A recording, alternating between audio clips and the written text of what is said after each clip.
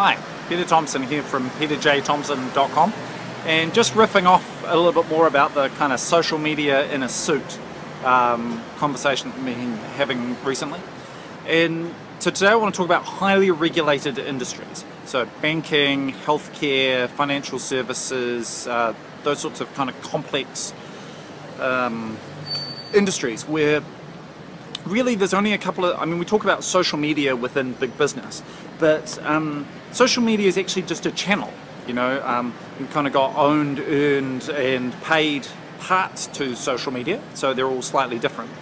But really I think the best way of looking at social media within a really big company like that um, is to look at what are the physical things that you're doing. Sort of social media aside, you're going to be either talking to people about promotions or new products or offers, those sorts of things, number one.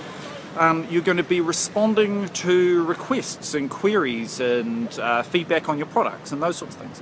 Um, and number three, you're going to be responding to problems, so issues with the product, uh, things that have gone wrong.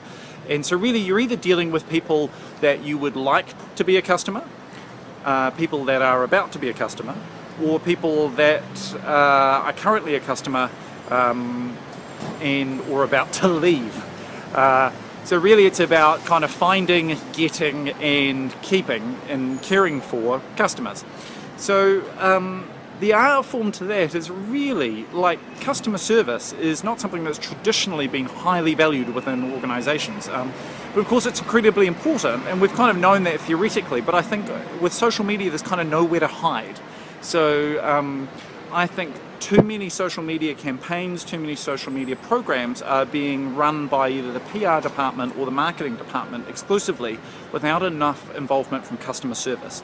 And I think if you can get a customer care or customer service team that is really active on social media and really kind of out there championing the brand, I think that actually becomes its own marketing in a way anyway.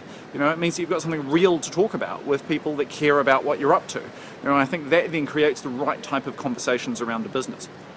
So I would say if you were, and probably applies to any company really, but I think it comes true with regulated companies, uh, regulated industries a lot, is make customer service a more important part of your social media.